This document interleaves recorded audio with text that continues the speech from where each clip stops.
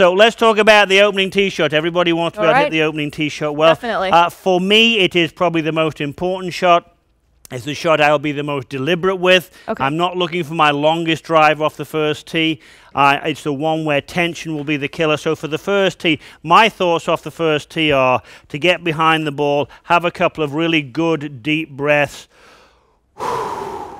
A lot of times it seems to help me to close my eyes and just Visualize. Yeah, do you know what I do visualize? I visualize the tension running right out of my toes. I Okay, really I like that. I want the I want the I want the out. tension going right out of my toes, just like water going along the floor.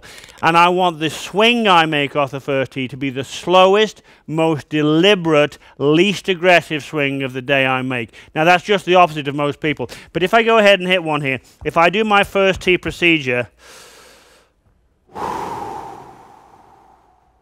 tension out, and I'm going to feel that this swing in my world is in slow motion. Now, when I'm a bit amped up and I'm playing, it won't look slow because I've seen it filmed.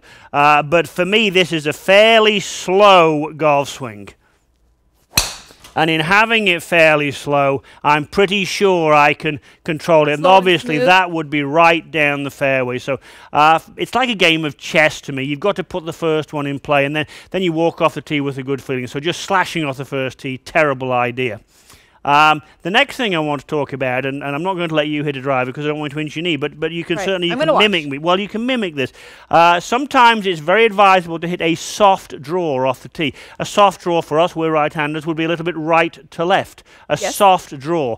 And so if you want a soft draw, well, you aim a bit right off the tee to start with. But a soft draw means a soft lead arm. Soft lead arm, okay. if the lead arm is soft, No tension there. very minimal, minimal. I don't know about no tension because you probably wouldn't be holding the club, but minimal, reducing it to, to its least amount.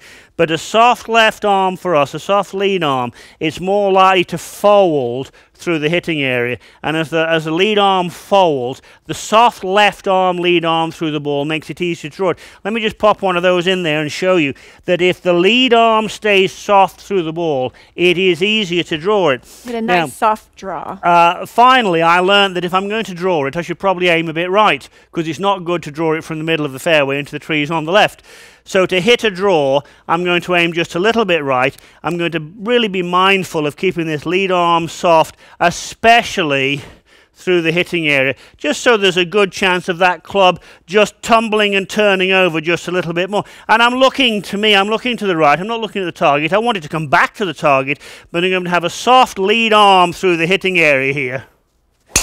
And as the lead arm's a bit soft, it's just beginning to come back. It didn't come back a lot, but it is coming back, and it would be absolutely fine on the right half of the fairway because I don't want a hook.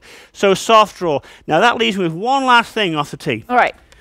Uh, one of the great things about being where I'm in my life is I get to be around really, really great players. And probably just, just three weeks ago, I got the chance to speak to Tiger Woods, and I asked him what he does in crosswinds off the tee. Okay. Now, we know he's had a bit of trouble with his back, but what he does with crosswinds off the tee. And he said, Well, Martin, it depends.